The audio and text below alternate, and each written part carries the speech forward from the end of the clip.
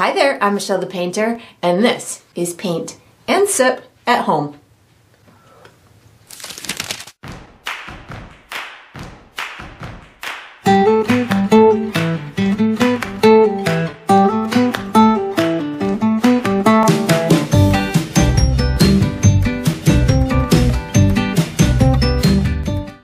All right, so today I'm going to be painting Autumn Swan and I'm sipping on some cinnamon tea. And if you enjoy this process, I do hope that you like and subscribe to my channel and that you also check out my Patreon page where you'll find additional painting perks. So let's get painting and let's get sipping.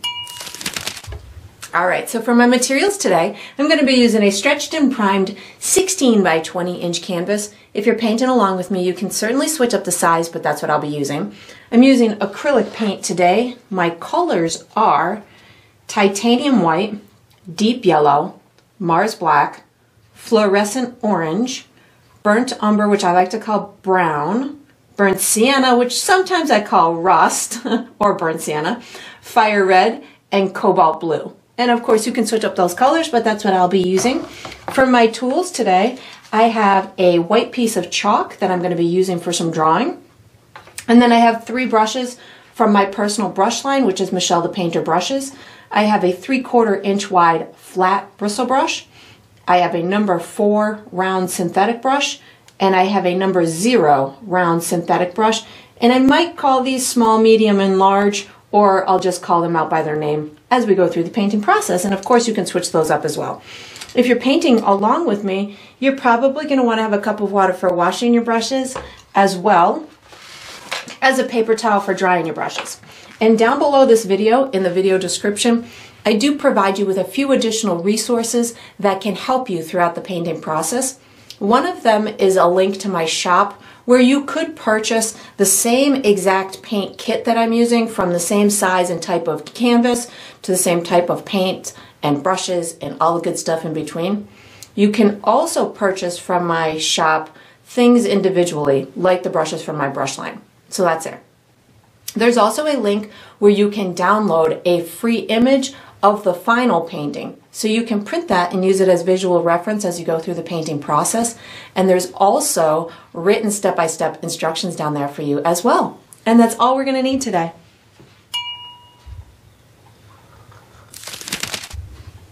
All right, so what we're gonna do for the first step is we're gonna paint a base coat onto the canvas.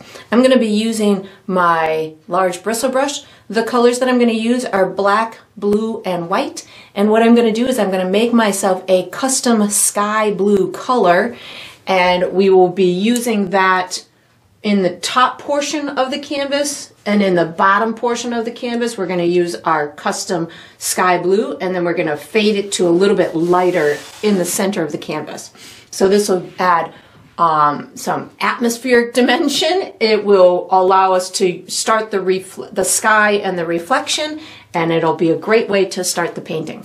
So I have pre-mixed my custom sky blue on my palette here. So this is the color I'm headed for.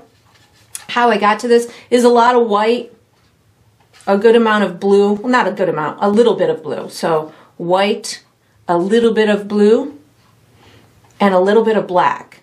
So I'm in essence making myself a light blue that has a little bit of gray in it. So that way it's what's referred to as desaturated. I'm taking out some of this vibrant pigment so it looks a little bit more natural in tone. And I don't want my sky to be the focal point of the composition, so I want to, in essence, kind of dull it down. So this is looking pretty good to me. Once you've got the desired color, what you do is put your mixing tool away, take out the large bristle brush, pick up some of that custom color, and I'm going to start at, at the top with a left to right brush stroke. I'm going to create um, what's referred to as a gradient. So I'm going to have it kind of fade down into a lighter tone. But I'm going to start it up in this top left-hand corner. I'm going to do it kind of in a diagonal type of a section. So that way we're also going to have a little bit of a light implied in the um, in the atmosphere, so this will help us start that too. I'm going to come down to the bottom and do something similar in an opposite way. So I'm going to take this blue and kind of go all the way across the bottom like this, and then make my section a little bit wider over here on the left-hand side. Now what I can do is start picking up white on my dirty brush. So what this is now going to do is make this sky or this blue get lighter and lighter as it comes towards the center of the canvas. So I can do that down in through here. So I just get it to blend in a little bit with that previous section. And I'm just gonna keep working my way towards the center of my canvas. I just keep adding white onto my dirty brush and you can see how it's not white yet. I don't necessarily want it to be white yet. I'm I don't even necessarily want it to be white at all on this step, but what I'm looking to do is have it go lighter and lighter as it goes towards the center of the canvas. So right about now I can just start picking up white and pushing my brush, which will release any of that additional light blue that might be in my bristles. So this way I don't have a white center to my canvas. I have a, just a very light blue center to the canvas. And then I'm just gonna kind of make sure that I've got everything blended as much as I want. So once I've got this on here, I can just kind of go back with a very light pressure on my brush and just kind of get it to blend out just a little bit, making sure that I didn't miss any spots. And if it ends up looking like you've got a bunch of drifting clouds going through your sky, awesome. Just roll with it. and that's, uh, that's, you know, kind of my intention a little bit anyways. Plus we're going to be putting some, some clouds on that sky. So whatever yours resembles by the time you're done this step, just allow it to happen because there's so many different ways a sky can look and its reflection. So once I've got this done, I am going to be using this same brush for the next step. So you can just wash it and dry it. just make sure I got this as smooth as I want. Wash this brush, dry it, and get ready for the next step. All right, so what we're gonna do for the next step is we're gonna paint the sky and its reflection. I'm gonna be using my large bristle brush. The colors that I'm gonna use are that sky blue, white, yellow, orange, brown, and maybe a little bit of black as well. I do recommend before you start the step that you make sure your canvas is dry. It'll be a lot easier that way. So what I'm gonna do is I'm going to put a very soft sun light source over on the right hand side. And then I'm going to be putting some clouds in my sky. And then I'm going to reverse it and do the same thing on the bottom. So I'm going to start with my light source.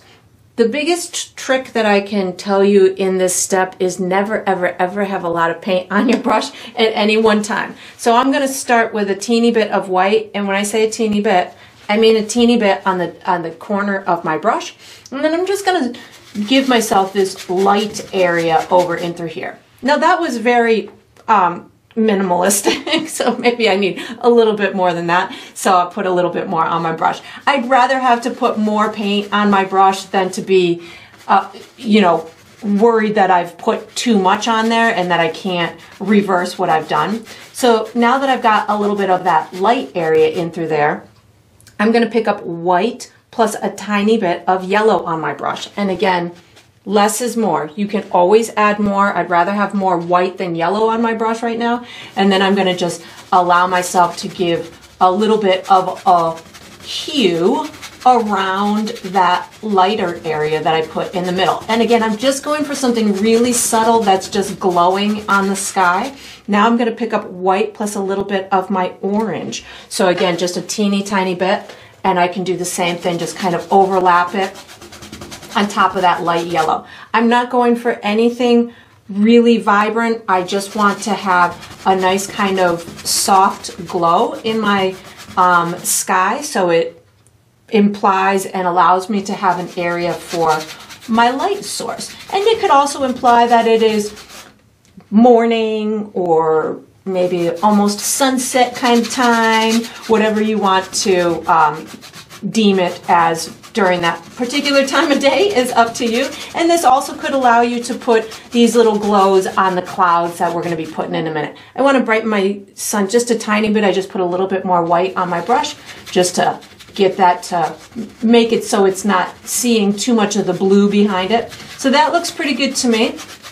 Now that I've got that, what I can do is I'm going to go do something similar down on the bottom, but I don't need to do it as intense as that. I'm just going to kind of pick a spot near the bottom of my canvas, put a little bit of white on my brush, put a little bit of white and yellow on my brush and this is a reflection so it doesn't have to be uh, it doesn't have to be the same size I'm skewing mine to be a little bit more um, shorter in height but I want to have it pretty much the same width so something like this will work and then I'm going to put my white plus a little bit of my orange on my brush and just kind of bring it down to the bottom of my canvas. And just give it again I'm just going for really minimal um, reflection and even light source in this case. And you can allow for some of that watercolor, what will be the watercolor, but it's the sky color, um, to show through. So once I've got that, I've got a great start to my sky. My land is going to be taking up this big middle area, but I still want to make sure that I've got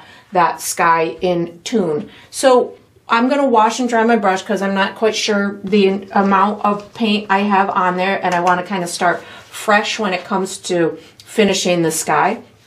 So I'm going to, over on the left-hand side, I'm going to put what are going to appear to be kind of darker clouds at the top and their reflection. And then we're going to drift some lighter clouds over towards that sun. So I'm going to pick up my sky blue plus a teeny tiny bit of black paint. Again, teeny tiny bit of black paint on my brush. I'm going to put a dark area up in through here and I'm just rubbing it out so it merges or blends in with the um, with the sky color so very minimalistic do the same thing down at the bottom before I start adding light colors just kind of go right down to the bottom and give yourself an area that's similar width but again, it doesn't have to necessarily be as tall. And then I have this little scoot of this one in through here.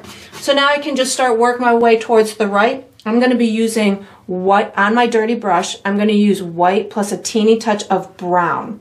So white plus a teeny touch of brown on my brush. I love using um, non-white tones for my clouds because it, to me they look a little bit more natural.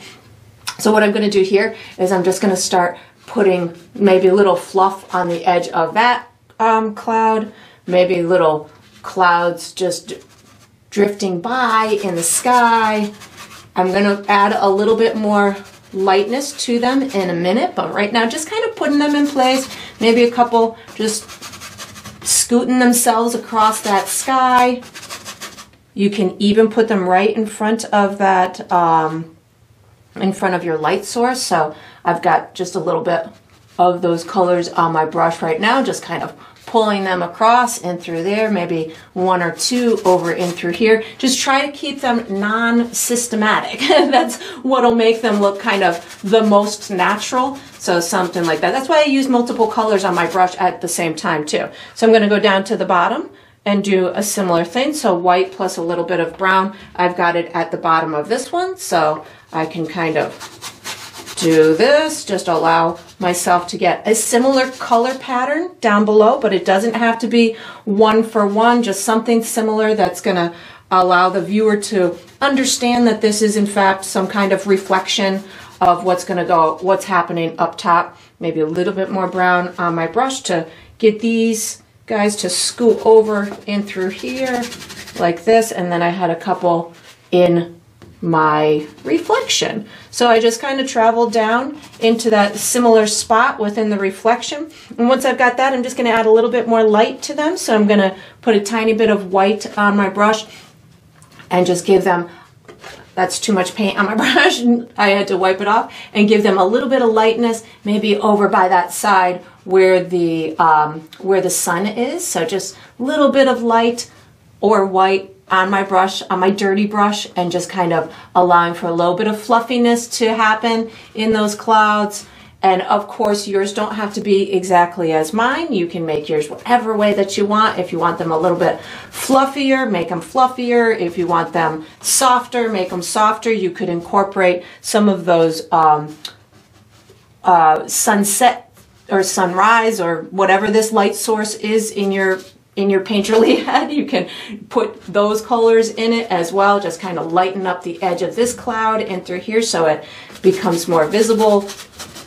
And then I'm not going to do much down in through here. Maybe just pull a little, couple little white clouds uh, down in through here just to allow for more atmosphere down at the bottom of my of my sky, but I'm thinking that that's looking pretty good. And if you do any that are too bright, just add a touch of brown or a touch of your sky color even can help you to dull them down, can help you to harmonize your colors. And then down below, again, I don't need to do one for one, but if I can, if I can get some of that similar color pattern, it will make it look like it's a similar structure. Oh, I, I missed this whole third one in through here, so we're just gonna kind of give myself a couple of light areas. The reflection of the trees is probably gonna cover this anyways. Um, so again, don't, I wouldn't um, panic if your if your clouds aren't exactly the same down in your reflection. I've got a couple little cute ones in through here, so I'm just popping on a couple of little light spots that'll give that viewer that information that this is in fact something similar. it's a, it's, it's hopefully a, a similar um, kind of rendition, and that's all I'm going to be doing. You can certainly fiddle with it as much as you want. You could put more darkness, more lightness, whatever works for you. And then once you've got this done, we're going to be using this same brush for the next step. So you can just wash it and dry it and get ready. All right, so what we're gonna do for the next step is we're gonna do the base coat for the landscape. I'm gonna be using my large bristle brush. The colors I'm gonna use are brown, burnt sienna, yellow, red, and orange, and white. And if I use any other colors, I'll let you know. So what I'm gonna do is I'm gonna be using my large brush to put uh, the foundation kind of an outline of where I want all of my trees to go and kind of place the different size of trees that I want. I'm not going for fine tune detail in this step. I'm really going for kind of just the mid tone of the tree, not the super dark stuff and not the super light stuff, but the stuff in the middle. And um, I'm going to be using this to just build my build my landscape. So what I'm first going to do is I'm going to take a little bit of brown and I'm going to draw myself a really loose outline of where the land is going to meet the water.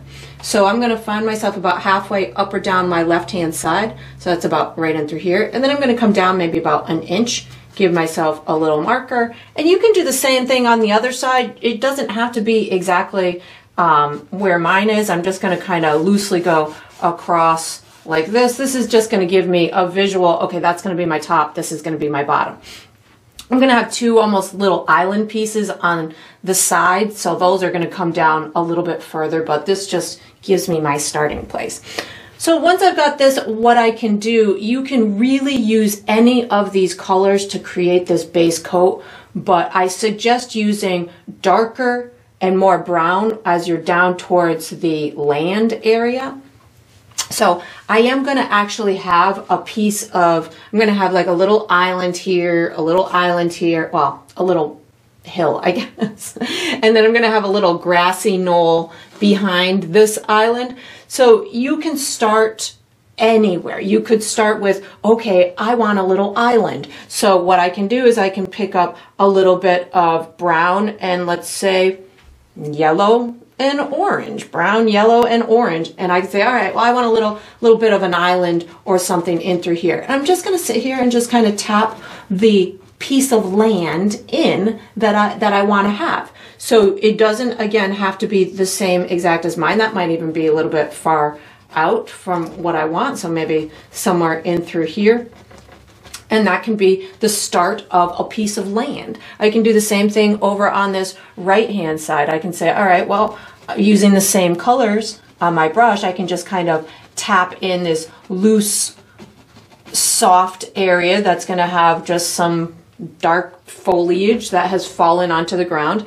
If I want to do another section behind here, maybe I pick up a little bit more brown and a touch of yellow, which will make it a little bit more on the greener side or steer it a little bit more towards green. So even though I'm doing a very similar um, brush stroke, I'm using a different color combination, similar but different, um, to create this piece of land right behind it.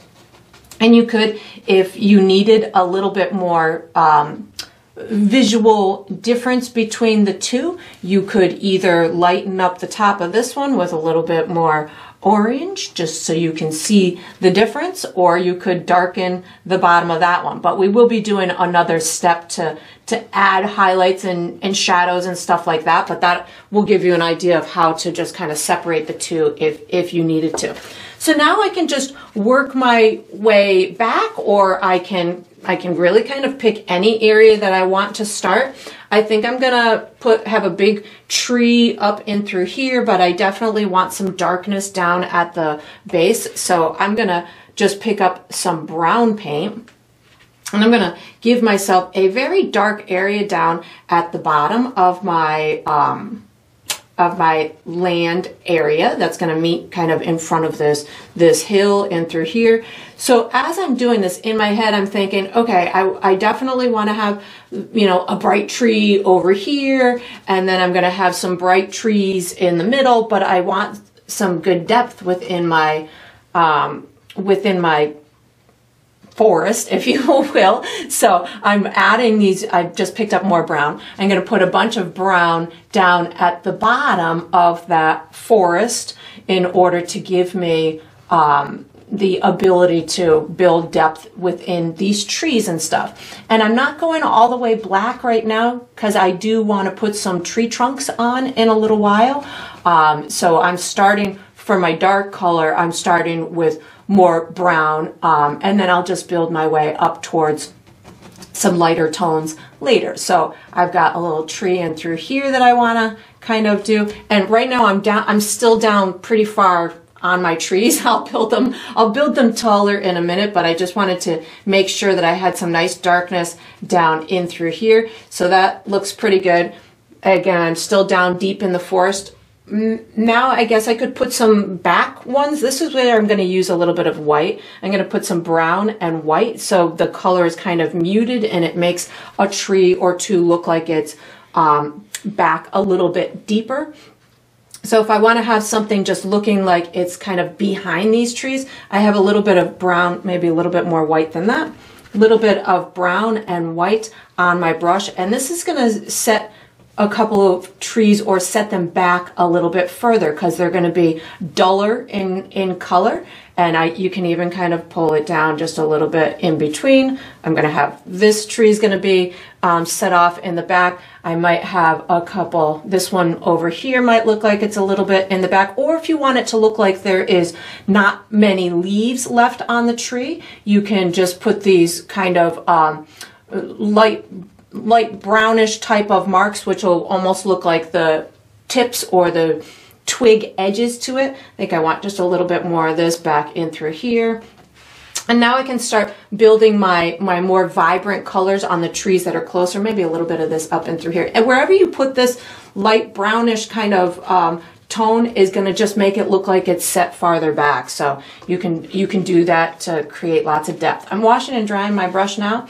And now I'm going to start just building my my trees. So I'm going to start over here. I'm going to be using my brown plus the other colors. So the brown is going to allow me to get these deeper tones within it. So this particular one, I'm going to start with some brown and some burnt sienna on my brush. And I'm just going to kind of get this really deep tone down in through here. And then maybe as I go up towards the tip of the tree, the exterior, I start picking up a little bit of yellow and orange on my brush. And this is going to give me these additional kind of light areas along the exterior. So this is all one big tree I'm doing right now just to get it in place, make sure that I've got it kind of tapped around the edges. And I like my trees to be um, not super symmetrical, so I will have pieces of them sticking out and, and making making them have all kinds of fun um, fun information. So this one in here, maybe I pick up a little bit of my red and burnt sienna and brown. So now I have red on on this particular tree. So you can just add a little bit of red in here. And this one I know kind of is gonna go deep in the forest and through here. So I'm just gonna tap my, tap my brush. I'm picking up a little bit of yellow to go to the edge of this one. And now I've got another kind of mass of, of trees in through there. And I want to put another section in through here, but maybe I want this to be a little bit darker. Um, so I just picked up a little bit more brown. And again, these colors combinations can be whatever you want them to be.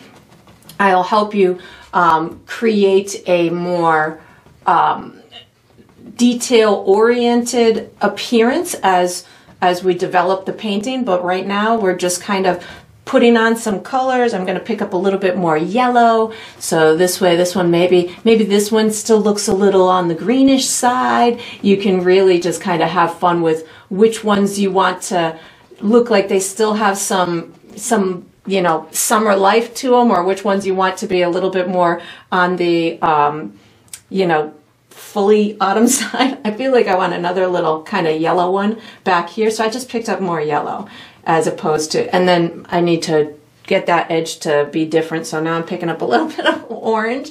So again, you can, there we go. Now we got two trees sitting next to each other. This one in through here, I'm going to pick up red. Again, I haven't washed my brush, so I'm picking up red and orange to uh, create this little uh, this little tree in through here. And you can see as I'm going through this, maybe I want a little bush in front of this one. So maybe I just kind of tap that and over and through here, maybe I pick up a little bit more brown to get that side of that tree to be a little bit darker. And again, you don't necessarily need to know where every single tree is going right now. If you just uh, tend to making different color sections, you can always, once those sections are on there, you can always develop it into an individual tree.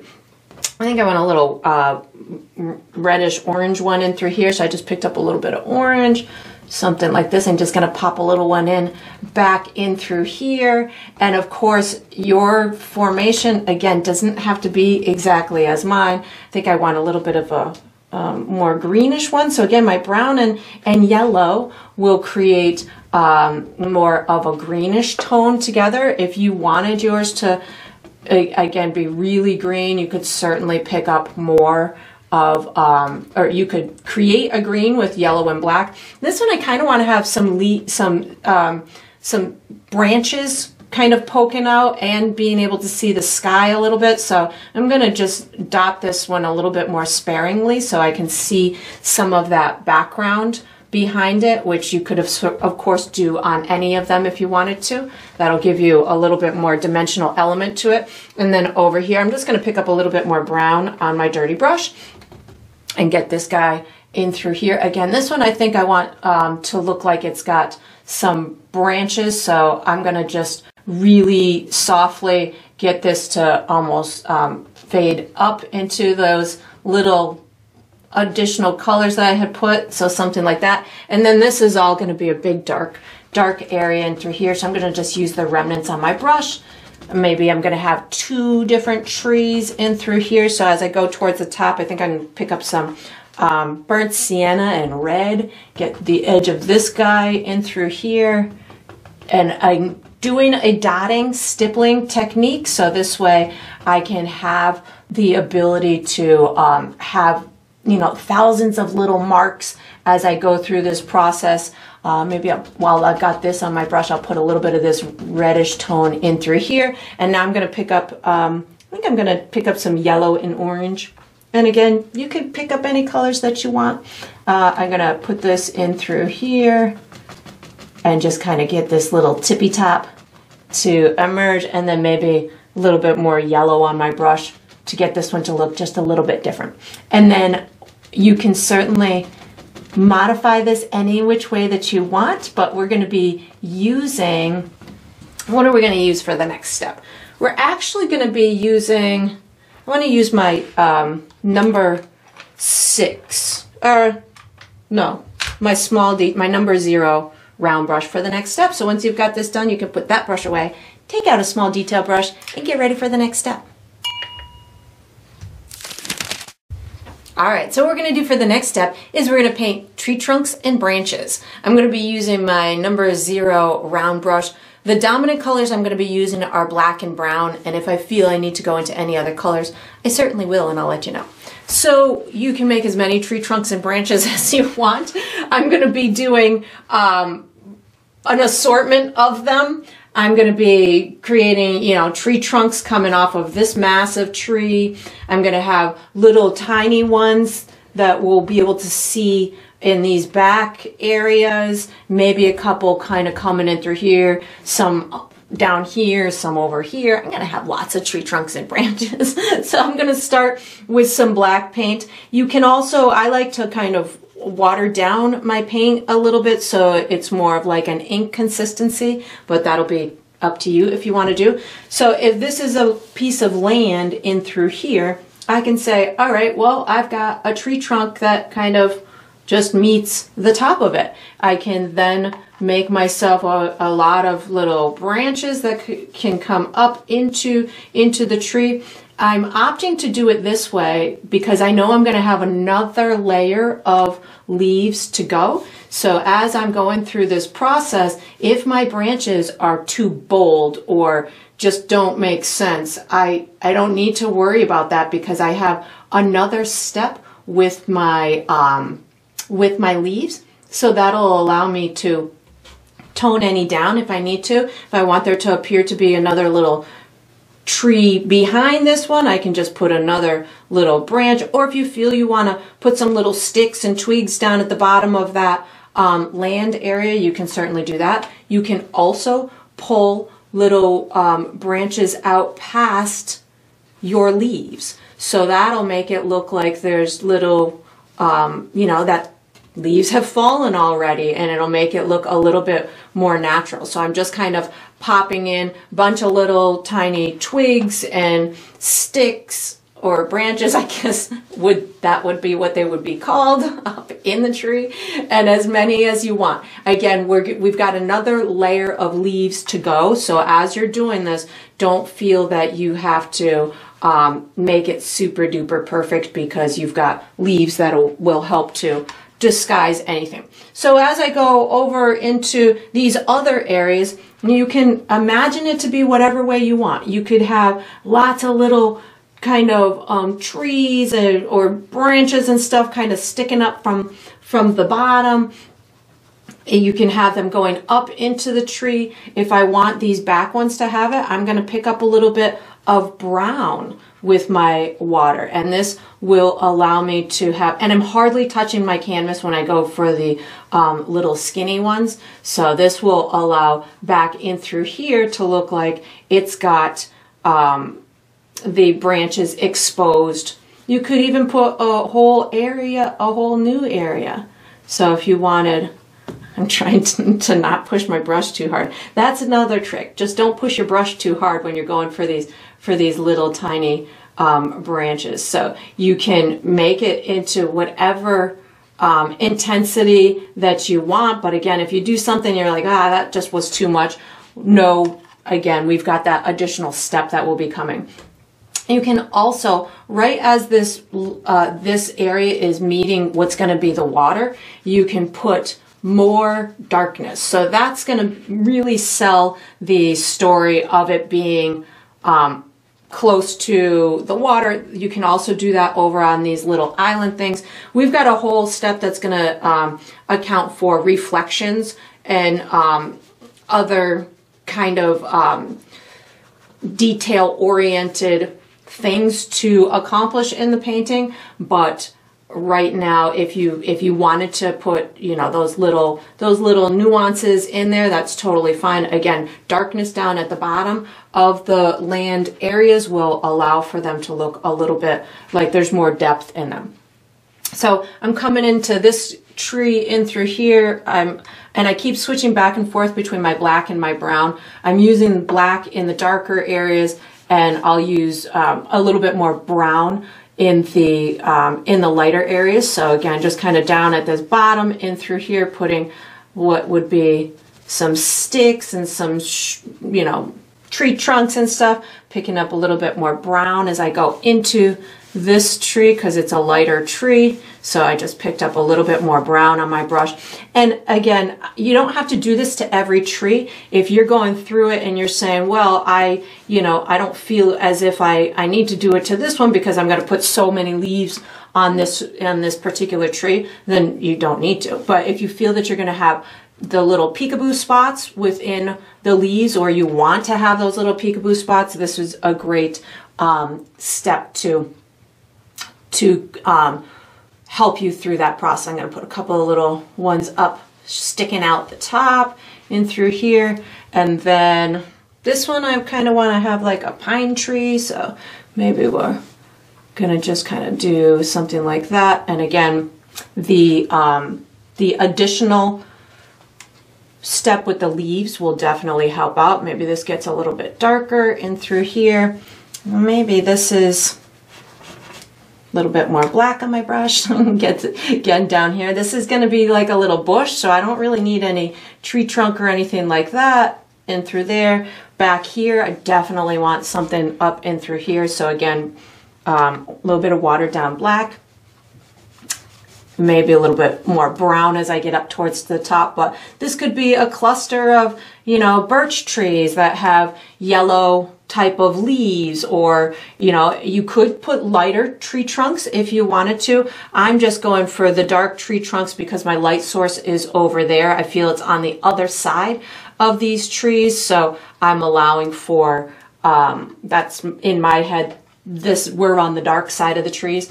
And again up in these little peekaboo spots i can pull little little branches and that's going to make it look again give you that more realistic kind of appearance to it. And then the, I'm going to do the same process to this area over here. This guy in through here, I think I'll put a couple little um, dark areas down at the bottom and maybe pull up just a little bit. And you can see I'm not, you know, I'm not saying, oh, I have to do one branch. Oh, I have to do another branch. I'm really just being carefree about this and allowing for um, some darkness down at the bottom and some um, some trunks and twigs and stuff like that. I feel like I want a pretty good one in through uh, here, something like that. Maybe make that one pretty, pretty dominant. And then again, just adding those little um, thinner branches. Maybe this one kind of comes up like this. And again, black and brown is where I'm headed. Maybe this is a, a dual kind of separating tree and then just little watered down uh, brown and black will give me all these little tiny tiny branches. And again I don't press hard. I also uh, am pushing my hand on my canvas which prevents me from pushing my brush too hard into my canvas. So it's just a little trick that I I have available to me because so you probably hear my hand rubbing on the canvas because I just know myself especially when I'm doing these little tiny details. I want to go fast because I that'll give me some real natural um, and organic brush strokes.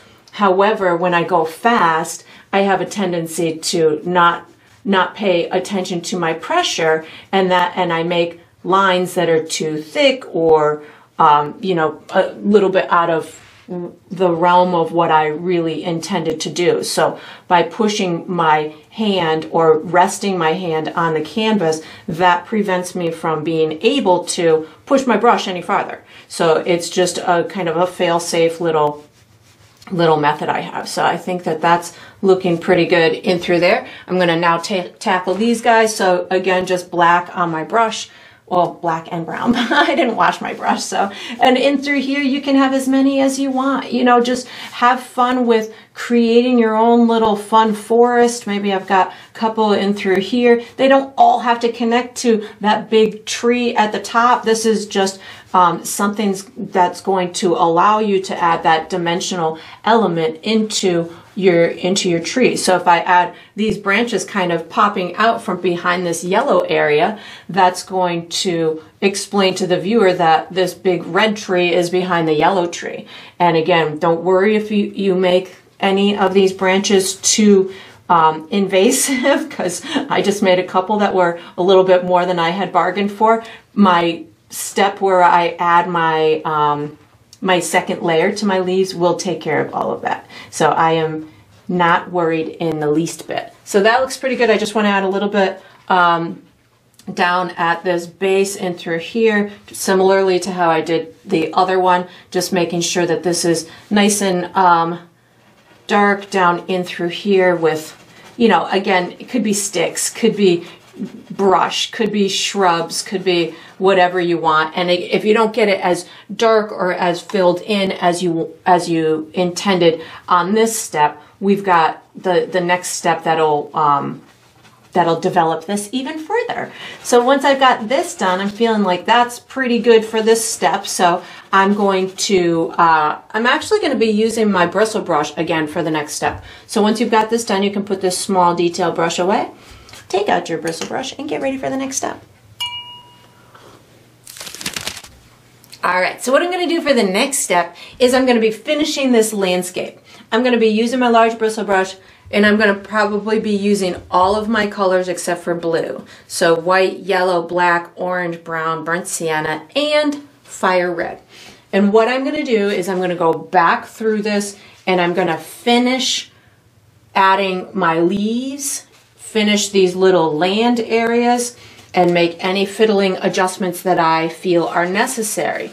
So I'm going to start with my dark and work my way to my light. I don't need much more darkness. However, I do want to make sure that I've got enough deepness in in certain areas. Like this little area back here, I kind of want the bottom of that to go a little bit darker. So it will allow for this piece right in through here to look brighter. So those are the little fiddling adjustments that I'm going to be doing. And I'm going to be using this brush with very little paint on it. So I'm going to start in my darkest areas and work my way to the light. So I'm actually going to pick up a tiny bit of black and see if there's any areas that I want to go a little bit darker. So for me, in through here, just on this left side, I kind of want this forest in through here to kind of sink a little bit deeper. So I'm just kind of rubbing in just a little bit of my black. You can even put a tiny bit of this darkness into your trees. So if I wanted a little bit of extra darkness in, say, the bottom of a tree or like right in through here, I, I feel like I want this to go a little bit deeper in through here. I can just add a very minimal amount of my black and rub it on as opposed to it being really thick. If I just rub it on and I'm, I'm almost just putting shadows in there without going too, too, too, too dark.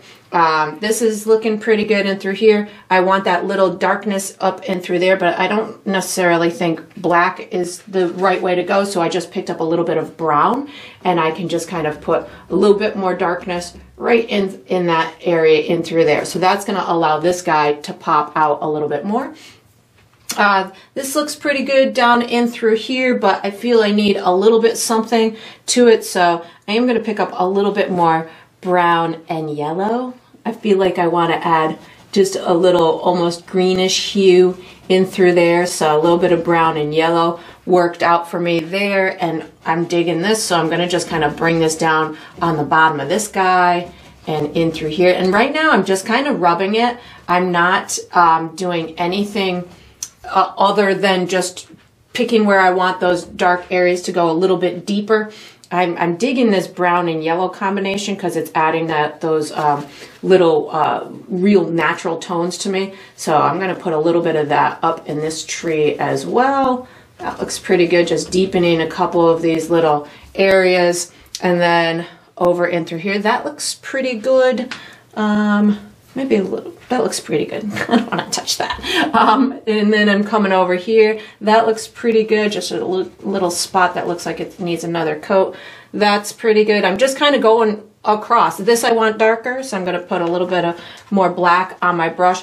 And again, just rubbing it on without, um, that was too much, too much paint on my brush. So I just need to take off the amount of paint on my brush. There we go. Because I still want to see that tree trunk in there. So I don't want to put this black too, too thick. There we go.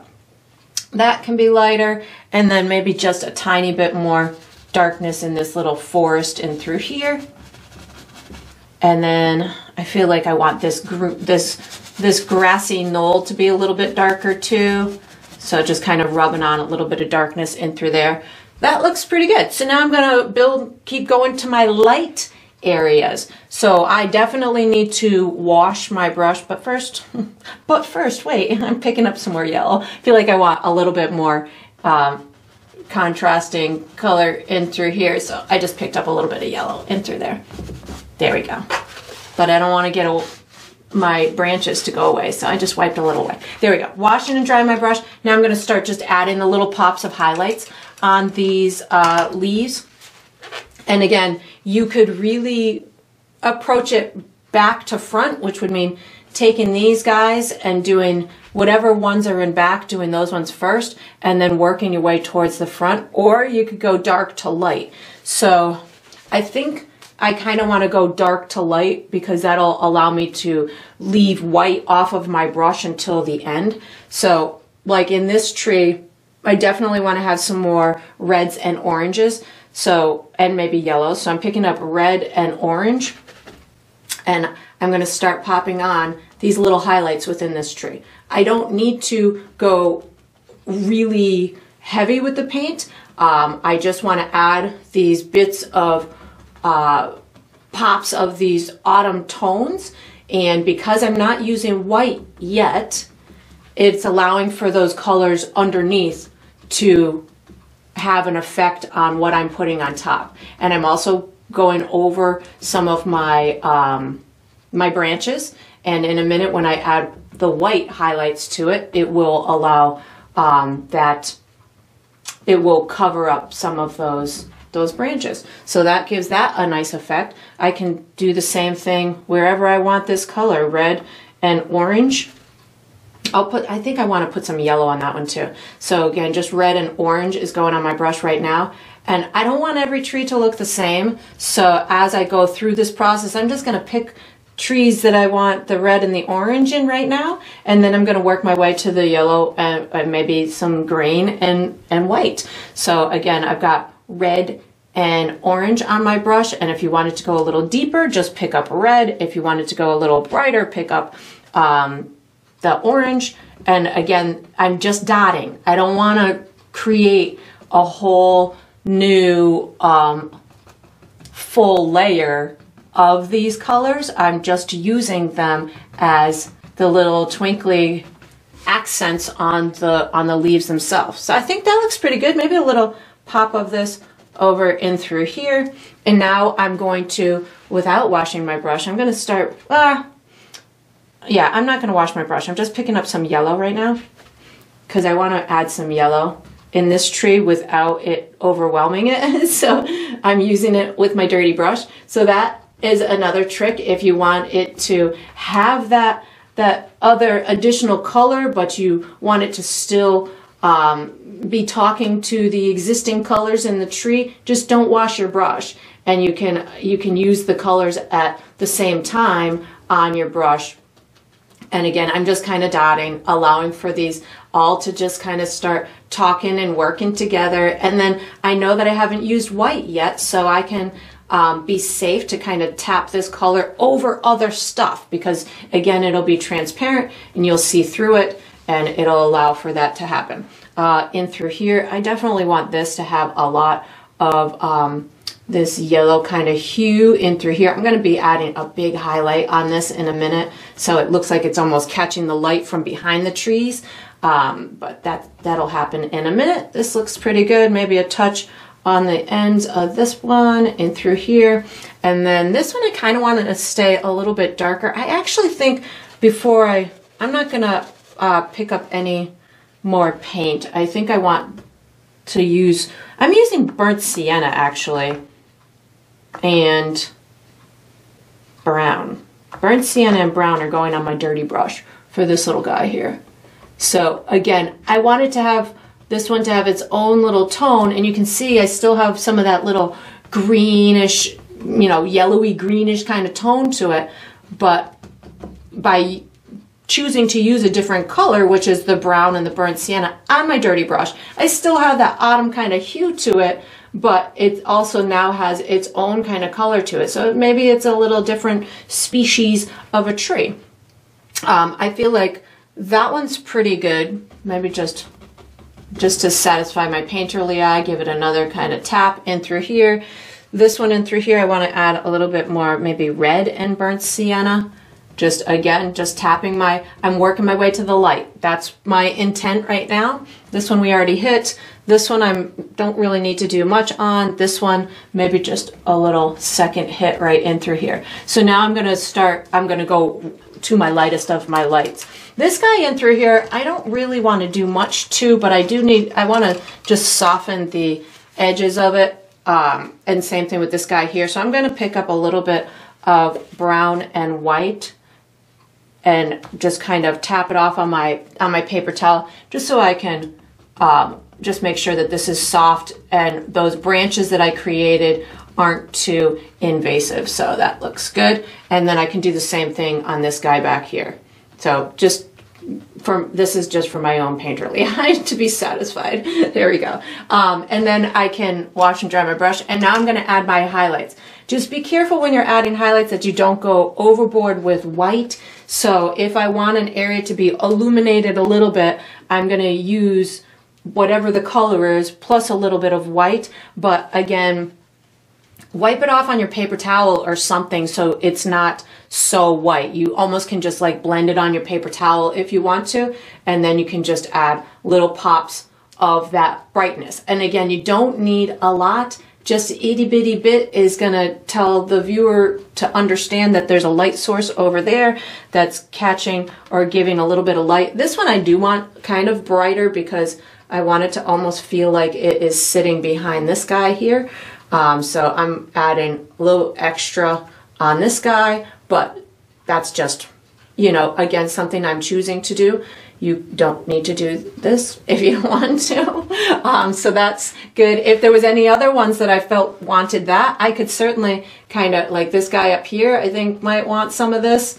So I just kind of add that on there. Maybe a little tip to this guy in through there. That looks pretty good. And then I just need to intensify wherever else I, I feel needs it, um, which isn't very much. I think I'm just going to go yellow and white right now. Just blend it a little bit on my on my palette or on my brush. I kind of want to put little lightness over on the edge of this guy here. And if you're going in for these little highlights and it's too much for you, then just pick up some of that original color. Like that was a little bit too much, so I'm gonna pick up a little bit of orange also to just intermingle. And I'm just doing little tiny dots.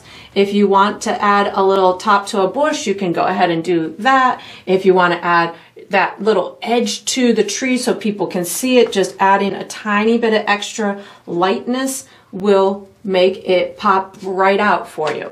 Um, this back here, maybe this gets just a little tiny bit of lightness at the tippy top of it, something like that. So you can see that it's part of that tree. This one I kind of want to keep dark. Maybe we just get a little bit more yellow and white at the edge of this one and through here. Again, I don't really need to do much.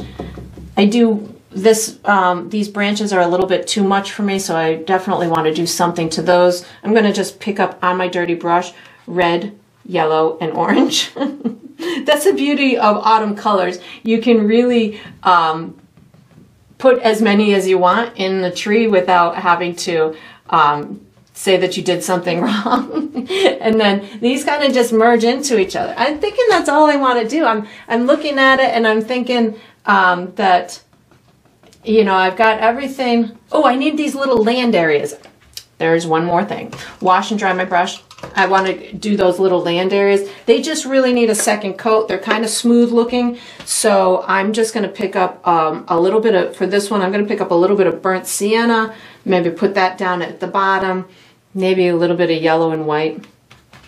Pop this on just to give it a little bit of life, a little bit of something, just a second coat. Maybe this guy back here uh, just gets some black with yellow because I kind of want it to be on the greener side on my dirty brush. So just giving it a second coat.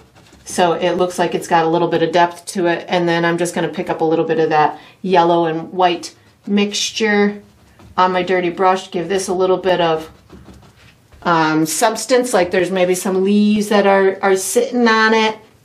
Again, you can make it as bright or as dark as you want. It doesn't matter.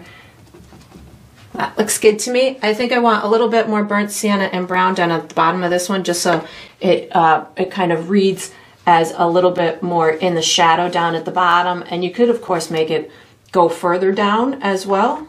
Just picked up a tiny bit of black too. Let's get this go just a little bit further down. There we go. And then we're going to be using what are we to use for the next step? We're going to actually be using this same brush for the next step. So once you've got this done, you can wash and dry the large bristle brush and get ready for the next step. All right, so what we're gonna do for the next step is we're gonna paint the reflection of the landscape. I'm gonna be using my large bristle brush and one of my small details, so probably my number zero detail round. Um, I'm going to be using all the colors that I used in my landscape. So that's going to be all of my colors except for blue. So white, yellow, black, orange, red, burnt sienna, and brown. And what I'm going to be doing, the reason why I'm doing this in one step instead of how I did the top in three steps, I don't want to get hung up in the details of it. I want it to be loose. I am just looking for a similar color pattern down in the reflection. So that's why I'm, I'm opting to do it in one step and it's going to be much looser. So that way it'll look like the beautiful swan that we're going to be painting has moved the water or maybe there's other stuff in the water that is having an effect on skewing our landscape so it's not a mirror image just a reflection a loose reflection. So what I'm going to do is I'm going to start with the top and kind of give the top of my reflection, especially this like darker area, so I can kind of outline or start where it's going to be dark and kind of um, merge it into these little um, islands, and then we're just going to work our way down that landscape. So I'm going to start with a little bit of black paint. You can also use a touch of water, just a little bit on your brush will work.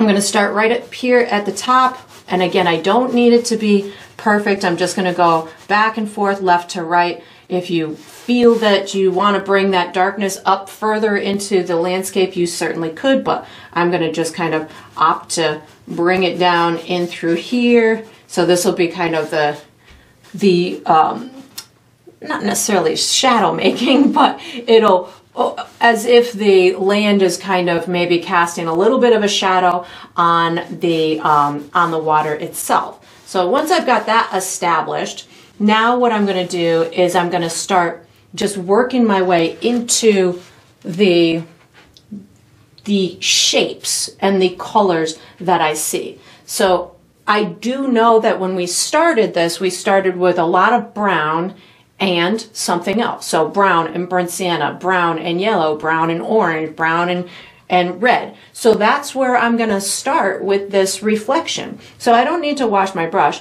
I can just pick up brown and something. So I have a lot of brown at the bottom of this landscape, uh, bottom of this section right in through here. So I'm going to start with brown on my brush and I'm just going to kind of go back and forth, left to right, till I meet an area that might not be just brown. So I'm gonna, I've meet in this area, so maybe this is brown, burnt sienna, and yellow. So now I've got a little section in through here that can resemble my, my island. Same thing with here too. I don't know if I would see a lot of the reflection of this one, um, but I'm gonna start right in through here with this little guy. That needs a little bit more burnt sienna on it. So something like this. And again, I'm just going for a real loose interpretation.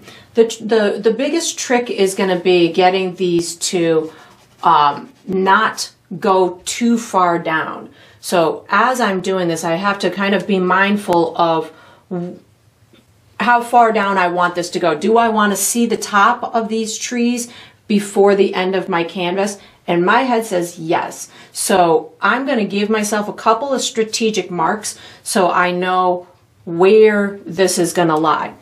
It could be kind of one for one in height because I, if I do this and see how high this is, it still lands in my canvas. I don't know if this one is going to, uh, but I want it to. So this one's this tall.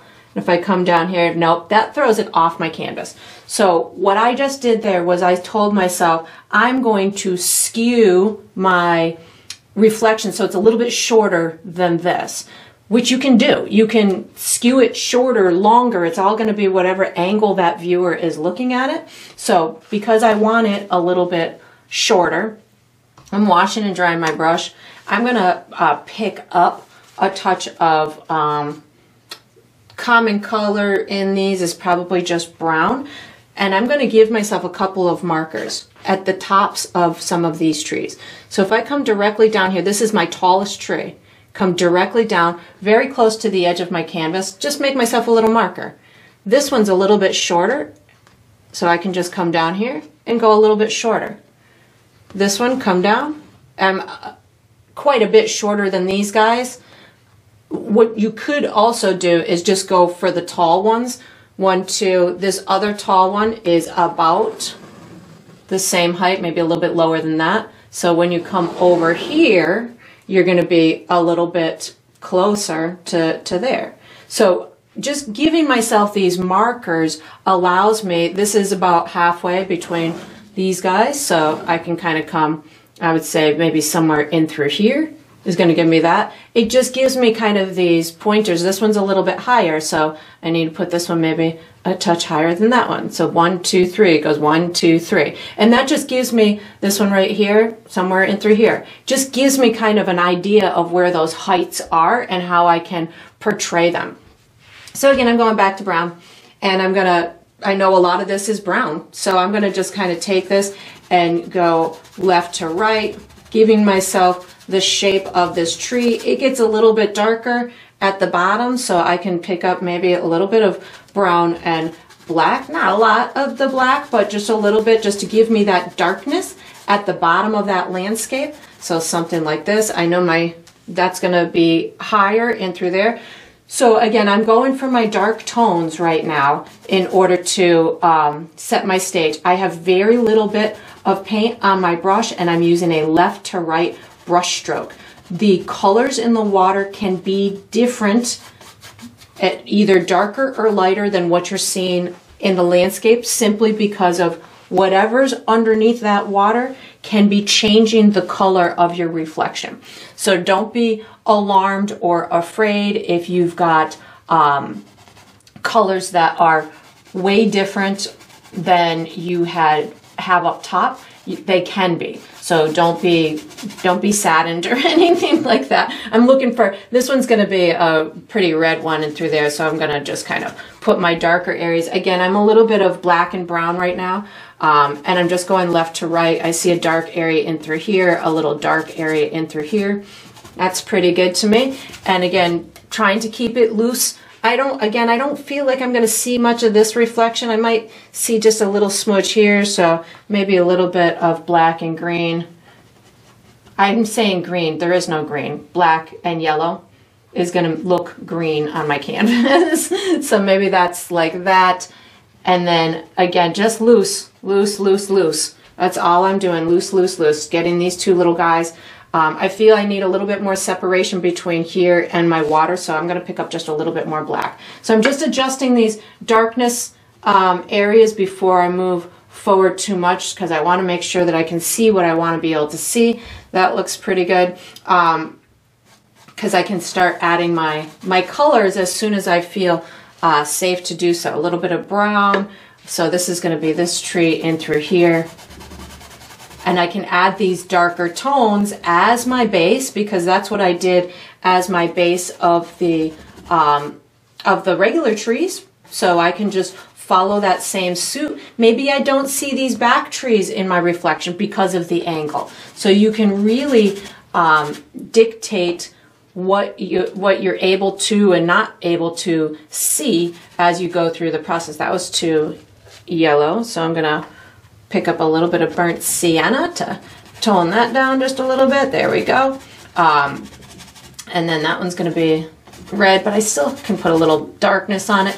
And then I've got these guys up and through here. So again, this front one is gonna have a little bit more of the yellowish tone and the back one is gonna have more of the reddish tone. So I just picked up burnt sienna and brown to get that little reflection started. And I'm just going for a color pattern. And I, I say that a lot when it comes to, um, to reflections because I myself and I'm sure everybody else can get kind of hung up on the details of a reflection, especially, you know, when you're doing these kind of paintings.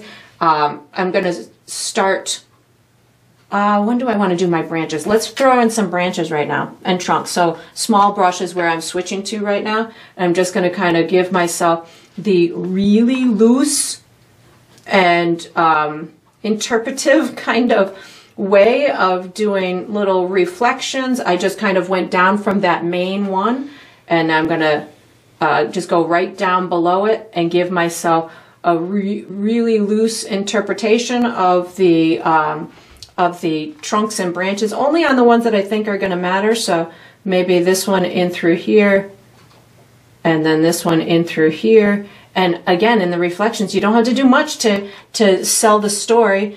This is going to have uh, this yellow one in through here, so maybe maybe a little bit in through here. And reflections go directly towards the viewer. So I think oftentimes reflections versus shadows can get a little confusing. Um, but if you can kind of keep in, in head, they go towards the viewer when the viewer's standing there. But in a photograph, they could be they could be elsewhere because maybe the the person who took the photograph was standing at a different angle. So you know that's going to be that was probably too much to the right. Um, so that could be you know as the the viewer could be standing in a different spot, I suppose. But generally speaking, I have to go directly below here. Generally speaking, the um, the reflection is going to go right towards the viewer. So as you're doing things, if you ever get confused, that's a good rule of thumb to just kind of keep in mind. And again, I'm just doing a very loose kind of rendition of these um, trunks and they were just kind of the big ones right below the, there and now I can start adding my uh, my lighter tones. I'm going to wash and dry my brush because I don't want too much black or anything on there. And then I just start, I used red and orange and yellow in this tree. So I have a little bit of red and orange on my brush. I'm going to just kind of go back and forth. I'm going left to right. You could certainly um, do dots if you wanted to, but I definitely just, I'm picking up some yellow and brown to get this kind of greener um, illusion on this other side. Um, whatever comf whatever brush stroke is going to be comfortable to you to, to get that illusion. Um, I've got some orange in through here and a little bit of red. So this is this little guy in through here. So something like that. And I'm just kind of watching that color pattern. I got a little bit of red. I just picked up a little bit of red. I'll go to my lights, light colors in a minute, but right now I'm just going to pretty much do um, the colors that don't have uh, white in them right now. So just red, orange, and yellow. And maybe some yellow and burnt sienna on this guy in through here. And I'm just going for a similar color to what I had done in the first place. Again, I don't need it perfect. We're going to have a the beautiful swan that's going to be taking up the show in a little bit. So I don't, you know, this is all really, for lack of a better terminology, just background noise. literally and figuratively. so I'm just allowing myself to um, believe that and to not get overwhelmed by the um, but by what could be an overwhelming task with the with the reflection. I'm just you know going one for one. I have this brown mark here that i definitely want to disguise so i just picked up a little bit more brown. So that was a little a, a little aggressive kind of um, mark i made but that's fine. We can get rid of that. Uh, let's see. I need a little bit more um, red and um, red in here i think there we go before I head into and a little bit of yellow up in through here. There we go. She's coming alive now. And then I'm to just hit those little light spots. So yellow and white was the dominant color for my light spots. And again, I didn't wash my brush. So I'm just um, allowing for everything to just talk really well together. Maybe a little bit more yellow than that. There we go. That looks pretty good as the highlights on this guy in through here and you can pull those colors into the water. It doesn't have to um, be just within that tree. But if you're seeing light on this side, put light on this side. If you're seeing this really light spot in through here, I definitely want to accomplish that somehow. So just popping it in where I feel it would be believable to the viewer. I've got this little guy up in through here, which I haven't done yet. So I'm to put that yellow and white pop this little guy on in through there, a little bit on um, this little guy. And it's easy to get confused. So just, you know, if you have to go just one at a time, just go one at a time. That looks pretty good. I want a little bit more orange in through here to get this guy to pop out a little bit more. So I just put a little bit more orange on my brush. And I'm really just kind of going as loose as I can, maybe a little bit of red on this guy. I'm just going for a color pattern right now, not perfection, just color pattern. So again, my, my swan is going to be in through here. I'm thinking that that's pretty good in through there. That was not unnecessary. Maybe a little bit of orange and um, my yellow white on top of this guy to get the top of that to reflect right here. And then I would definitely um, let mine dry for a few minutes and see if there's anything else that I felt could benefit me in this reflection. I'm thinking that it's pretty good from this close right now, but oh, I need a little highlight right in through here. Um, but uh, when I step away, I might feel that there's, um, you know, a little bit more work that could be could be had. Um, and if I if I do, then I'll I'll just fiddle with it a little bit more. But this is this is the dominant um, process that I'm doing on it. And then we're going to be using our drawing utensil for the next step. So once you've got this done, you can, of course, fiddle with it as much as you want. And then you'll want to uh, put this brush away, take out a drawing utensil, and get ready for the next step. All right, so what we're gonna do for the next step is we're gonna draw an outline for our swan. I'm gonna be using my piece of chalk. You could certainly use any drawing utensil that's comfortable to you. I'm gonna guide you through a series of markers. We're gonna create some basic shapes, and by the time we're done, we'll have something that we'll be able to utilize during the painting in process. I do recommend that your canvas is dry before this step as well because it's always easier to draw on a dry canvas than it is to draw on a wet canvas. So I'm going to find myself the center of my water line. So wherever this main area kind of meets the um, water, you're going to or not not the center of that, the center of the whole canvas, but it's on the water line. So somewhere in through here, I've already kind of marked mine so you could see where I was headed. So it's not the center of my canvas because that's about up here. It's going to be on that water line or that horizon, yeah, water line land line, whatever you want to call it. So then what I'm going to do is I'm going to come to the left of that about a half of an inch and I'm going to make myself a little circle that's going to be about a half of an inch wide by a half of an inch tall. So something like that. Then what I'm going to do is I'm going to come on the right hand side of this circle. I'm going to come down about uh, one to about three inches and give myself a marker. So somewhere it, right about in through here. Might be a little bit to the right. It's a little bit to the right of that circle. So somewhere in through here. Then what I'm going to do is I'm going to draw myself a hor horizontal line that is, I would say about four inches long. So somewhere like that. I'm now going to connect here to here, but this is going to be the back side of the swan. So it's going to be like a oval type of shape, but we're going to pop it out a little bit at the tail. So I'm going to take it from here. I'm going to go up like this. You can give yourself a couple little um, little wing type of points in through there. I'm going to bring it back like this just a little bit and then back out for the tail in through here. And then you can just kind of meet it in through here. So it doesn't have to be perfect. This is just something that helps guide us through the painting process. And even the tail, I just have mine out a little ways. And it's going to be prettier when I paint it. It's not going to just look like a stick like that. So now this is the, the head. I'm going to connect that to this chest part. So in through here on this right hand side, I'm going to connect that to right about in through here on the on the circle. So I can take this, I'm going to come down and back out like that. And then at the top, I'm going to connect the top to right about here. So you're going to come up here maybe about a half of an inch. So I take from here and I'm gonna bring this around like that and give myself a pretty swan neck. And then you can just pop out a little tiny beak in through there. That's gonna totally work out. And it doesn't have to be a perfect drawing at this point.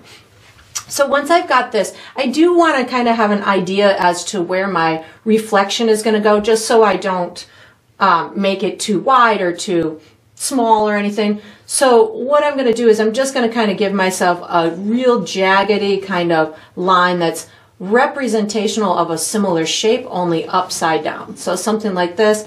And then I've got my, my neck in through here, and then I can just kind of bring it down like that. So that just gives me a good idea as to, and you could even say, okay, well, this one's about this high. This one could be shorter because we've shortened up all of our um, reflections because of the amount of space. So I've shortened my reflection a little bit too, or, and, or it can skew. It can be, the, the swan is making ripples in the water, so you could have little pieces that come out, but I'll show you how to do that during the drawing process, or during the painting process.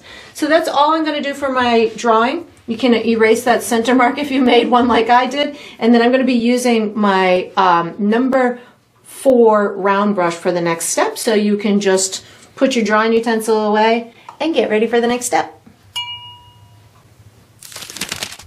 All right, so what we're gonna do for the next step is we're gonna paint a base coat onto our swan and its reflection.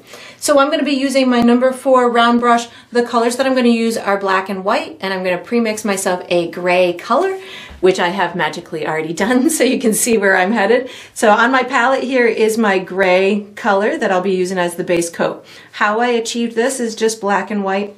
I didn't put any special recipe in here, just black and white to get myself a, I'm going to call this like a light to mid-tone gray.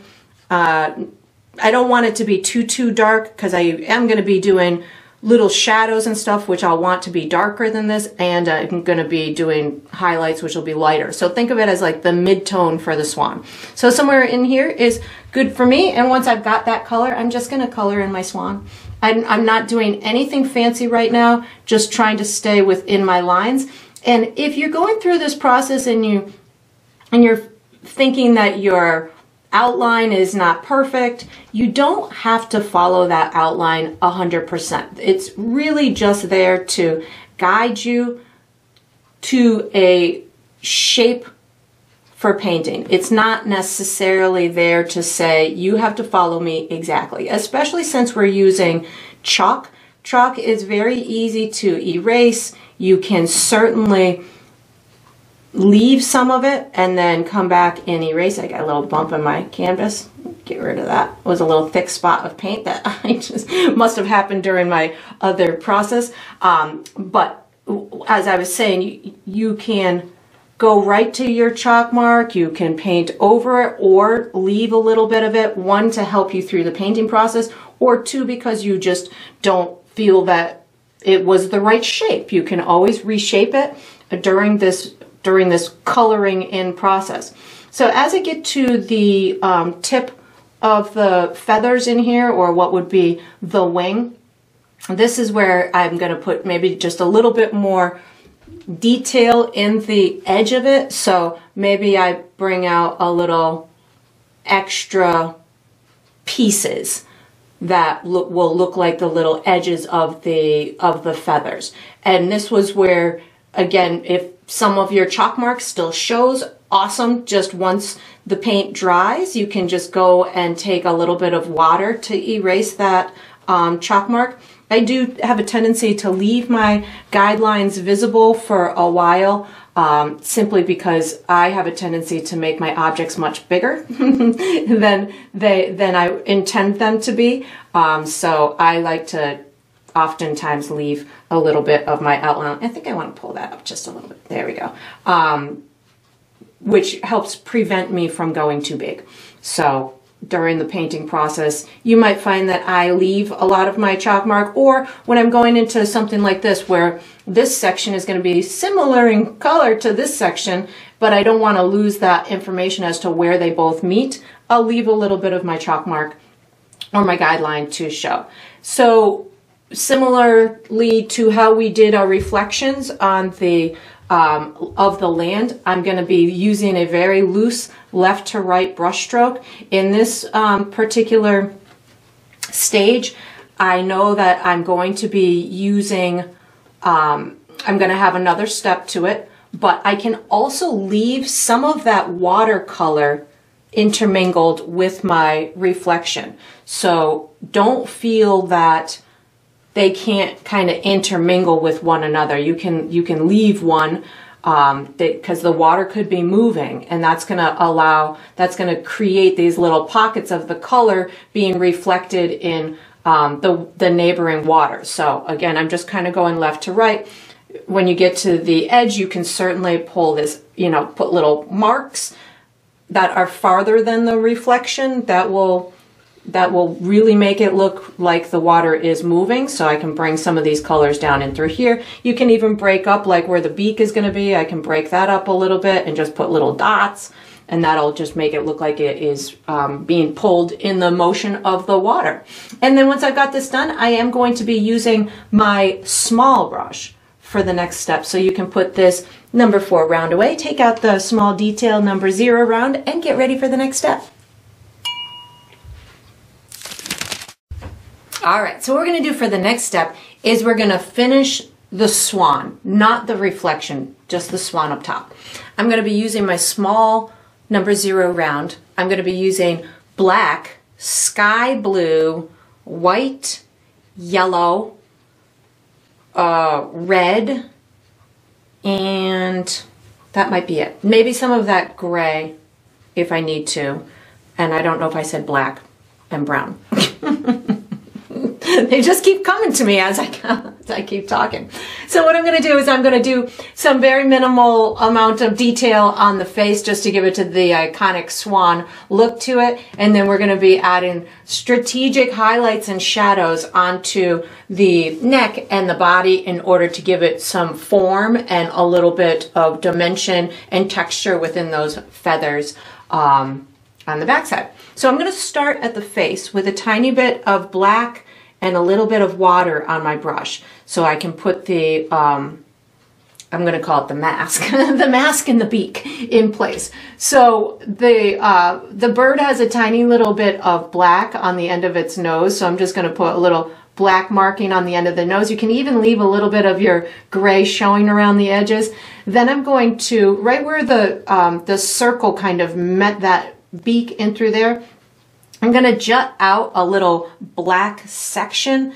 Um, a lot of these swans almost have like a black forehead piece that kind of almost hangs over the um, beak. So I'm just going to put that in there. And then it kind of goes right into where the eye is going to go. So I'm just going to kind of pull this back and make myself this um, kind of a swooping curved line down towards the um, down towards the beak like this.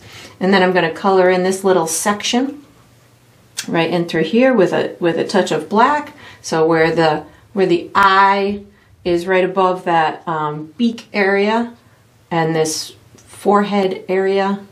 I don't know what the technical term of it is, but so this black area. We're going to call it the mask. Something like that will will work for me. And then there's a little nostril area, if you will, somewhere in through here that just kind of goes down that beak. So now what I'm going to do is I want to uh, need to put some color in that beak. So I'm going to wash and dry my brush. The colors are going to be red, orange, yellow. I'm going to have it darker on the left hand side and make it bright on the right hand side. So I'm starting with a little bit of red on my brush and I'm going to go right up to that black area over here on the left hand side. Then I kind of wipe my brush off. I'm going to pick up a little bit of orange. I'm doing a very tiny little gradient on this beak. I can even put a little bit of this on the tip in through there. And then I'm going to pick up a tiny bit of yellow, kind of overlap it. And then on that right hand side, I wipe my brush off. I'm picking up a little bit of white. So I just created this really quick gradient around that beak and it allowed that beak to, to show up. So if it wasn't, if you felt that you needed a little bit more black or I feel like I want to kind of accentuate this little tip a little bit more, I just picked up I picked up black with somebody something else on there that picked up a little bit of black just to kind of give myself um, uh, make sure that this is as dark as I want it on on the tip of the beak. Um, but you could certainly modify yours as much as you want. And then I, I think I want a little bit more orange too, maybe on the right side of that line. So something like that. So just little tiny, little tiny beak. Um, then I'm gonna wash my brush and I'm picking up a touch of uh, white paint just to give myself a little highlight on the right side of this black section. So I want it to be visible to the viewer. So I'm just going to kind of highlight it just a, a little tiny bit. Um, and you can blend it back into the black if it went too much on you, but just little tiny bit. And you can even stick a little tiny sparkle where that eye would be with a little tiny bit of white. So just itty bitty sparkle. So once I've got the, the face done, I can start moving on to the rest of the body. I'm going to have shadows on the bottom side and in between the, um, the wing. So what I'm going to do is I'm going to pick up my, uh, uh, what color do I want to use? I actually think I want to use a little bit of black and brown. So black and brown is going on my brush with a little bit of water. I'm going to put a nice shadow right here in the front. And you can even blend it up a little bit into the, um, the chest area. This again is just going to give you some nice contour at the bottom of the bird. Picking up a little bit more brown. Going to put some down at the underside of this tail feather in through here. So this I just picked up more brown this time. And then right down at the bottom, I'm picking up a touch of black. Looks like I should be putting a little bit more darkness in through here to separate um, this side edge and then maybe just a nice kind of sharp line where that, not necessarily too sharp, but nice dark line where the bird is meeting the water. So something like that. I'm now going to pick up a little bit of um, my sky blue plus black. So I'm using my sky blue to create um, like cooler shadow tones on this right hand side. So I have sky blue and um, black and I'm going to put this as the bottom side of this um, wing over on this side. So there's a couple of different pieces to the um, to the bird wing body and this is just separating those pieces from one another. So again, this is black plus my sky blue. I'm gonna put a little bit of this in through here and it's adding a really nice shadowed tone to this side of the bird and that separated that out. I think I need uh, to put a little bit of it in through here as well and maybe just a little bit down in through here and then maybe a little bit down at the bottom of the tail feather in through here to transition into that um, into that brown color that I just put. So again, these are just little little tones that will set this down deeper. Now I'm going to just pick up my sky blue and I'm working my way up towards the highlight of this, um, of these wings. So I'm gonna, or these feathers. So I've got two different little sections to the feather in through here, or this wing. So there's a section in through here, and then there's a section here. So I'm just using a little bit of this light blue or sky blue to transition that kind of grayish tone that we just did up into the light area. And you'll see how this transitions in just a minute here. Going to get this little section in through here. So I'm just kind of building my way to the light. This tail feather is actually catching at the top. It's catching some of that sunlight. So we're going to put a, a big uh, bright area on the top of this tail feather in just a second. I'm going to bring some of this sky blue up this uh, back side of the neck a little bit. Not a lot, just a little bit, because we're going to make that neck a little bit warmer in tone. So that looks pretty good, and I'm now picking up white paint to give myself a bright highlight on this, um, on this tail. That's just kind of popping out over on the other side. And again, this is just white paint, so I'm going to allow this to be really bright, maybe give myself a couple little um, spots for that for that tail to just kind of pop out a little bit further than the rest, that little tail feather, and you can get it to blend in a little bit with that blue if you need to, and then picking up more white to do the same thing up at the top of um, this side of the of the beautiful swan. And I'm using kind of a directional brush stroke, which implies the direction that the um, feathers are, are laying in. So, and I'm concentrating on having this bright white really at the top side and catching that the light from from the light source that's on the other side of the of the swan. So right in through here, I'm going to bring this down just a little bit to so we can see that side of it and then just bring it here and then I can just kind of fade it off into this top little part of the feather or wing. I'm not a swan specialist, so I'm I've probably got the, the names of the parts a little skewed, but that's okay. That looks pretty good to me. That's looking pretty. Let me just kind of blend this out a little bit and you can pick up back up any colors that you want like I just picked up the the light blue just to get these to transition a little bit better and you just kind of keep fiddling until you've got that um, that transition the way that you want like I want a little bit more of um, actually the blue and the black, just to kind of get this just sunk in just a little bit more in through here. There we go. That looks pretty good. And then, of course I'm gonna just wanna keep fiddling, maybe just a little, little bit more darkness right in through here. So I'm gonna do the neck. I'm gonna wash and dry my brush. I'm gonna pick up white and brown.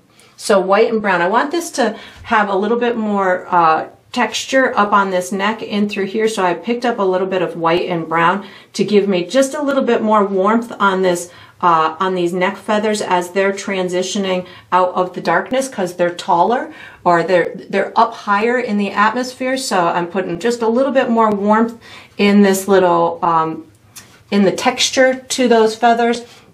I'm gonna do the same thing on the face as I'm just kind of bringing this towards the um, bright spots that I'm going to be putting. I leave a little bit of that uh, darkness underneath the chin. Actually, I'm going to pick up a little bit um, of black and brown just to put a little tiny shadow right underneath here.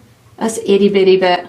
And now I'm going to wash and dry my brush and I'm going to go in for some white to get um, a nice bright highlight around the edge of my swan in through here. So just little white and I'm just kind of tapping it so it gives it a, a tiny bit of texture, but not, not so much that this looks like long fur. I'm just looking for it to look like, you know, wet feathers.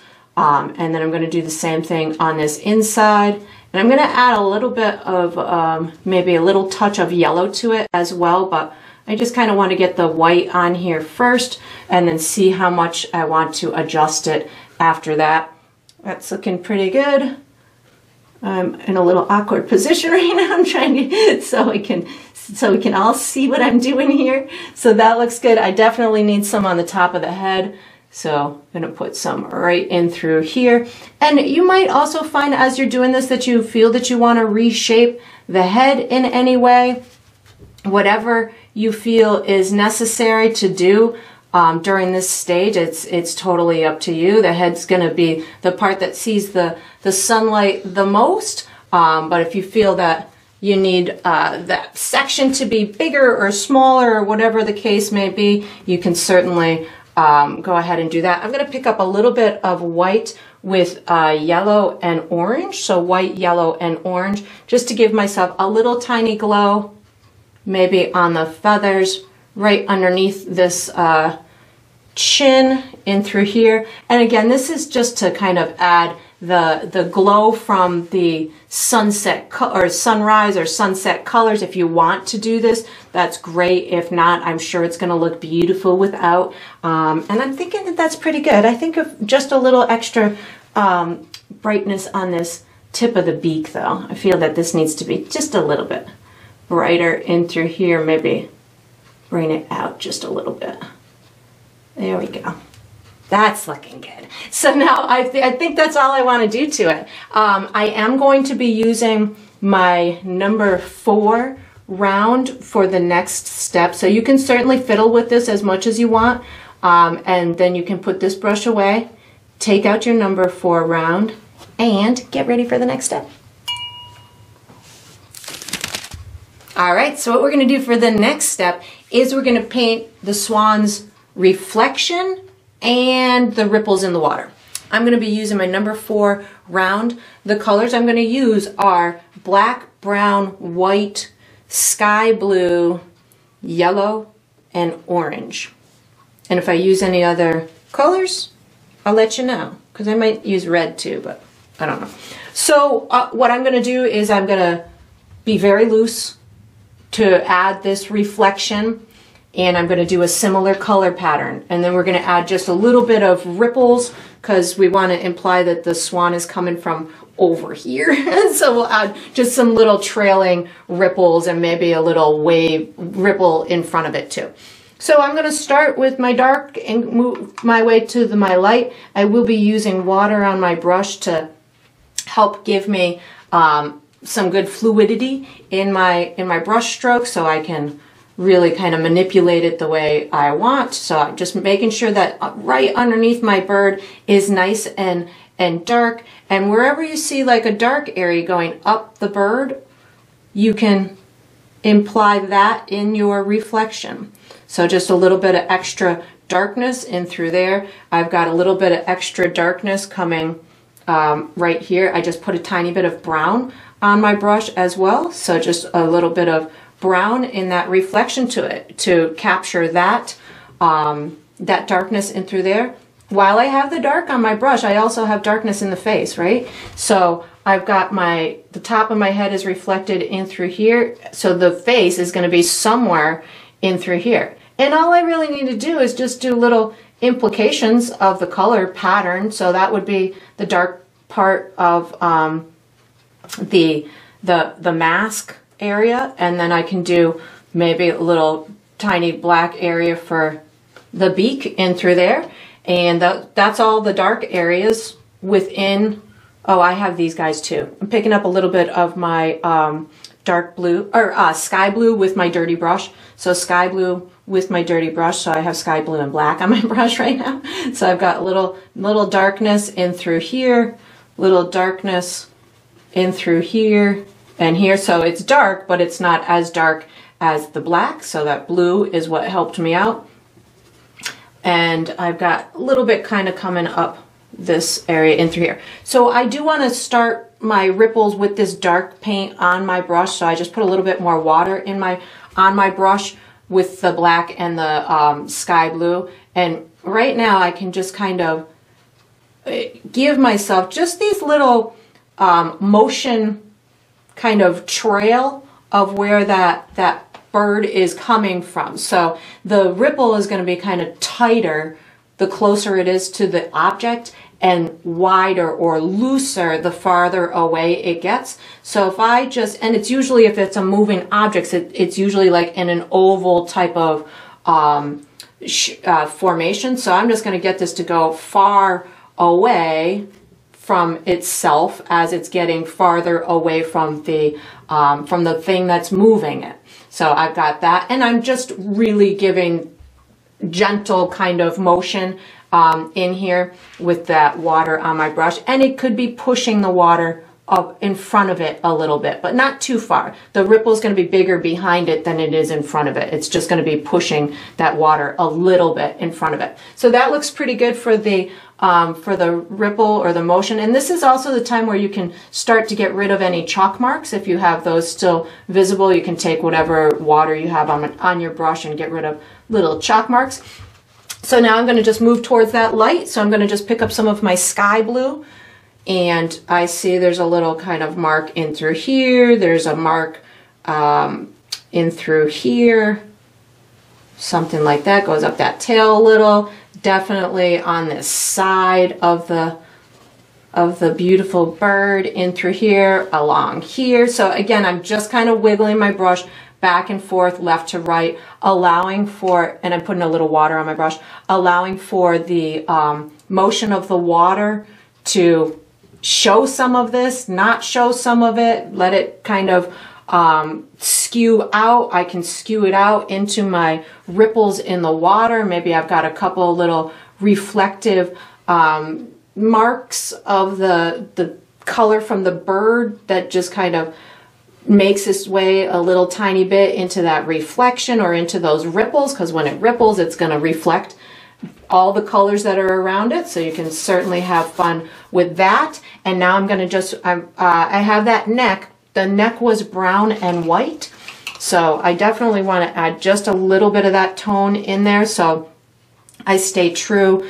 to the uh, the top portion. So brown with a little bit of white just so I can get that, make sure that that kind of reads as the reflection for that. And then I'm just going to pick up some white right now to get a lot of this white um, transferred down into my into my reflection and again you can see I'm just really kind of using this squiggly type of brush stroke and maybe this kind of pops into this reflection over here or, you know, skews out just a little bit more. I've got the tail feather that's going to be, um, so this is here, so it's got to be on top of here. And again, just kind of watching, I'm watching up top and trying to reverse it, but in a very loose way. so we've got that. I feel like that should be a little wider too. And adding extra stuff up top. and then I'm going to put this on the front of the, um, of the neck in through here and then just kind of pull it. And again, I'm just kind of loosely rippling it. It's on the top of the head in through here. And then maybe, so the top of the head then kind of gets into that face, something like that. And then little tiny edge along that nose. And I've got to put my, um, my additional colors in that face too. I'm just pulling these out just a little bit more so they look like they're in motion a little bit more and putting a touch of water on my brush just to kind of catch a tiny bit of this ripple. And again, I don't need much in this ripple. It's really just to help the viewer understand that there is in fact motion in this water so you can really just even just I just watered down my my brush a little bit just to kind of get a transparent or translucent type of um, effect in through there a little bit more white on my brush just in in here just to kind of get that that going and then maybe just a tiny bit in front of my um, in front of my bird and then I just need a tiny bit of those other colors from that mask. So I definitely need um, a tiny bit of yellow and orange. I might not need the red, but yellow and orange definitely. Yeah, I'll use the red too. It might as well. So I have yellow on my brush, orange, and again, just kind of skewing these colors in through here. Teeny tiny bit of red. Again, I don't need much, just itty bitty bitty, itty bitty bit. I put a little bit on that neck too, so I could even kind of capture a tiny bit of that on both sides of that neck, something like that. And I feel like I need a little bit more definition down this back side of the neck, so just kind of put that in through there. I think that that's pretty good. Maybe a little bit more darkness in this uh, area right in through here too. So we can, I just picked up a little bit more black just so we can really capture that dark underside or backside of the bird. So we can, again, just make sure the viewer understands what's going on. That looks pretty good. And then I would just, you know, this is my, my fiddling time. So as, as I'm um, kind of saying, do I, do I want anything more in through here? Can I see, can I see that tail? You could even pull in more of the um, colors from around if you wanted to. If, if the reflection of the bird wasn't um, amped up enough for you and you needed more contrast around it, you could certainly put more of the colors from the surrounding areas. But I'm thinking, I'm thinking that that's too much on the beak now that I put my head back. So I'm going to just kind of dull that down a little bit of, of black and maybe put a little tiny touch of white on the front part of it. Something like that. And again, just a color pattern. That's all I'm looking for here is, is a color pattern. Um, and then once I've got that done, we're going to be using this same small, or uh, I'm using my four, but we're going to use our, our number zero round for the next step. So you can put this brush away, take out your uh, small detail, and get ready for the next step. All right, so we are on to the final step. This is the final step of every painting, which is to sign it. So I'm gonna be using my number zero round brush. I usually sign mine in the lower left or the lower right. I'm gonna go lower left on this one with brown paint. I like to sign mine with my initials, but you could of course sign yours any way that you want. You could make up a fun symbol, you could put the date in it, you could use your full name, some people sign theirs on the back. You can sign it wherever you want. You can hide it in within the painting, which is something that some artists do that I think is super cool. Um, any way you want, it's up to you. And that is going to conclude this painting. I hope you enjoyed the process. I hope you painted yourself a very seasonal landscape animal portrait. and I look forward to painting and sipping with you again sometime.